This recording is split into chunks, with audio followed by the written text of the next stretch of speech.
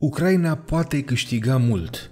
Țara a dovedit din nou și din nou că e capabilă să învingă Rusia. Mai întâi a făcut acest lucru împiedicând Rusia să pună stăpânire pe Kiev, Harkov, Cernihiv și pe litoralul Mării Negre. A reușit din nou prin oprirea ofensivei concentrate a Rusiei în Donbass, regiunea din estul Ucrainei, care cuprinde provinciile Donetsk și Luhansk, o parte din ea fiind ocupată de Rusia în 2014. Ucraina a recucerit provincia Harkov în mai puțin de o săptămână, a străpuns liniile defensive ale Rusiei în sud și a început să elibereze părți din est. Pentru prea mult timp, Coaliția Democratică Globală care sprijină Kievul s-a concentrat pe ceea ce nu ar trebui să facă în invazia Ucrainei. Principalele sale obiective includ să nu lase Ucraina să piardă și să nu lase pe președintele Vladimir Putin să câștige, dar nici să nu permită ca războiul să escaladeze până în punctul în care Rusia atacă o țară NATO sau să efectueze un atac nuclear. Totuși, acestea sunt mai puțin obiective decât intenții vagi și reflectă confuzia profundă a Occidentului cu privire la modul în care ar trebui să se încheie conflictul. După mai bine de șapte luni de război, Statele Unite și Europa încă nu au o viziune pozitivă pentru viitorul Ucrainei și ceea ce s-ar putea întâmpla acolo. Occidentul crede în mod clar că lupta Kievului e dreaptă și dorește ca Ucraina să reușească, dar nu e încă sigur că Ucraina e suficient de puternică pentru a-și recăpăta tot teritoriul. Mulți lideri occidentali încă mai cred că armata rusă este prea mare pentru a fi învinsă. Această gândire a determinat pe membrii coaliției pro-ucraineene să-și definească doar obiectivele militare strategice interimare, nu au pus la cale consecințele politice care ar rezulta dintr-un colaps militar rusesc complet.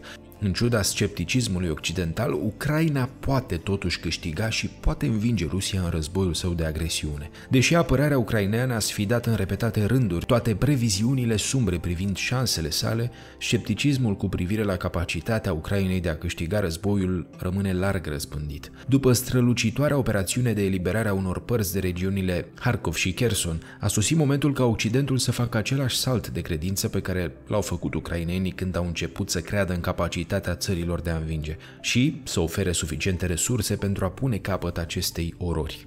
Rusia a suferit pierderi, a pierdut bătălii pentru a cuceri Kiev, Harkov, Mikolaiv și Cernihiv și a retras forțele din nordul Ucrainei și a cedat controlul asupra nord-vestului Mării Negre și s-a zbătut să salveze o parte din trupele sale din Izium, Regimul lui Putin insistă că aceste mișcări au fost gesturi de bunăvoință, dar cu toate acestea, în realitate, Rusia și-a retras trupele din acele bătălii atunci când persistența sa ar fi însemnat doar mai multe pierderi. În ciuda tuturor acestor lucruri, Occidentul încă nu crede că Ucraina poate învinge militar invazia rusă. Această convingere e anterioară datei de 24 februarie, dar nu se bazează pe fapte și pe o analiză militară neutră. Acest sentiment susține că Rusia e pur și simplu prea mare și prea puternică pentru a fi învinsă militar, de aceea toate predicțiile potrivit cărora Ucraina va cădea în câteva zile sau săptămâni sunt cumva reale. Cu toate astea, indiferent cât de des au fost pulberate aceste ipoteze, această convingere persistă. Există politicieni din lumea democratică care cred în mod deschis în victoria ucraineană, în timp ce alții rămân la vechea lor teamă de puterea Rusiei. A pune capăt rapid și diplomatic acestui război ar fi minunat, dar Moscova nu are în vocabularul său cuvinte de concesie sau compromis. În mod realist, negocierile oneste depind de faptul că puterea militară a Rusiei se va degrada până la un punct în care nu va mai putea atinge niciunul din obiectivele lui Putin în Ucraina. Putem ajunge la acest punct și trebuie să o facem cât mai curând. Nu există nicio îndoială că Rusia avea stocuri colosale de armament și muniție, dar coloana vertebrală a puterii militare rusești vine din perioada sovietică și aceste stocuri au limite. Când Rusia își va putea epuiza stocurile cruciale, nu va mai putea continua războiul de agresiune împotriva Ucrainei. E doar o chestiune de timp. Din luna mai, Rusia a folosit rachete concepute pentru a ținti nave și foarte imprecise împotriva obiectelor terestre. În iulie, Rusia a mers mai departe, efectuând lovituri în Ucraina cu S-300, care sunt și mai puțin potrivite pentru a lovi ținte terestre și au o rază de acțiune limitată. Folosind astfel de rachete, Rusia evită să rămână fără altele concepute pentru a ataca ținte terestre. După ce Ucraina va primi sistemele avansate de apărare antiaeriană occidentale promise, Rusia va avea capacități foarte limitate de a lovi în profunzimea teritoriului din Ucraina. Întinderi și peticiri similare se aplică în toate părțile armatei ruse, ceea ce duce la o eficiență de luptă degradată a trupelor rusești. Acestea nu au avansat semnificativ de la capturarea Lysychansk în iulie, în timp ce o contraofensivă ucraineană bine planificată în septembrie și octombrie au pus pe fugă unitățile rusești. Decisiv până în prezent, Rusia nu a reușit să câștige superioritatea aeriană asupra Ucrainei, informații slabe, precizia scăzută și apărarea aeriană ucraineană au făcut ca semnificația militară a rachetelor rusești să lipsească. Trupele blindate rusești au suferit pierderi colosale. Artileria a fost factorul decisiv pentru practic toate avansurile rusești din aprilie încoace. În condițiile actuale de război, singura modalitate prin care Ucraina poate contracara artileria rusă este cu propria artilerie, atât prin distrugerea obuzierelor și lansatoarelor de rachete rusești, cât și prin perturbarea logisticii de aprovizionare cu muniție. Ambele pot fi realizate aproape exclusiv cu ajutorul artileriei. Ucraina a primit un arsenal formidabil de artilerie la standardele NATO, cu toate astea nu e nici pe departe suficient. Cifrele sunt clare. Occidentul a livrat peste 200 de obuzire buziere grele și câteva mai ușoare, precum și 25 de MLRS, sisteme de rachetă cu lansare multiplă. Prin simpla cantitate, Ucraina avea mai multă artilerie înainte de 24 februarie decât a primit de la parteneri, peste 1000 de piese.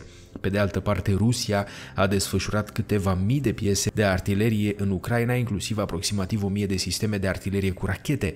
Cea occidentală și-a dovedit superioritatea în ceea ce privește precizia și raza de acțiune față de sistemele sovietice sau rusești. Cu toate astea, Ucraina nu are suficient pentru a acoperi o linie de front de 100 de 1000 de kilometri. În aprilie, vechea artilerie ucraineană a început să rămână fără muniție, iar acest decalaj ar putea fi eliminat. Atunci de ce nu e? Un argument este că nu va fi niciodată suficient indiferent de câte arme sunt livrate acolo în Ucraina, deși e întotdeauna bine să ai mai multe instrumente pentru a te apăra împotriva unui agresor de o asemenea învergură, 400 de obuziere suplimentare și câteva zeci de MLRS-uri ar schimba situația în mod dramatic. Ucraina ar avea în continuare mai puține mijloace de apărare decât Rusia, dar ar fi suficient pentru a acoperi toate sectoarele liniei frontului, în timp ce raza de acțiune și precizia superioară ar compensa diferența de număr. În acest fel, trupele rusești și-ar pierde ultimul avantaj, mai ales că dacă Ucraina primește mai multe echipamente antidronă pentru a contracara în Rusia, toate țările NATO, în special cele mai mari, au suficientă artilerie pentru a oferi suficient pentru a avea un impact.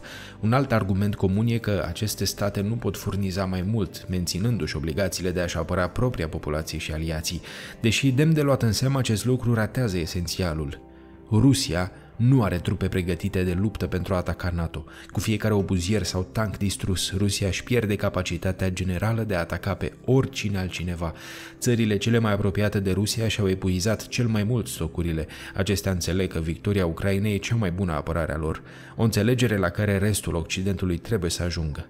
Trebuie să furnizăm mai multe arme grele, vehicule blindate de luptă și semnificativ mai multă muniție ghidată cu precizie înainte de sosirea iernii. Acest lucru ar trebui să meargă mână în mână cu instruirea în domeniul armelor grele și cu sfaturi tactice pentru ofițeri. O modalitate de a începe să înarmăm Ucraina mai eficient e de a împărți povara între toți aliații. Dacă 13 state europene care posedă împreună 2000 de tancuri transmit Ucrainei 10% din tancurile lor, acestea rămân în continuare cu o mulțime de capacități militare pentru a se apăra în cazul unui atac. Dacă am fi furnizat Ucrainei mai multe arme, poate că ar fi putut învinge Rusia anul acesta. Acum acest lucru pare puțin probabil. Mobilizarea parțială nu va permite în mod magic Rusiei să învingă Ucraina, dar va prelungi foarte mult războiul.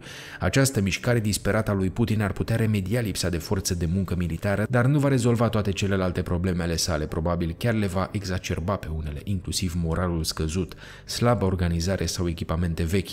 Războaiele contemporane nu sunt câștigate de mase de soldați folosiți ca o carne de tun. Forțele ucrainene pot continua să obțină câștiguri mari în această toamnă, cu aceste câștiguri și cu suficientă artilerie și muniție, forțele ucrainene ar putea intensifica decimarea logisticii rusești, a depozitelor de muniție și a sistemului de comandă și control, iar acest lucru ar pregăti terenul pentru următoarea mare contraofensivă de eliberare a teritoriilor ocupate. Între timp, țările occidentale vor decide să răstoarne Rusia ca principal furnizor de tancuri și alte vehicule blindate pentru forțele armate ale Ucrainei.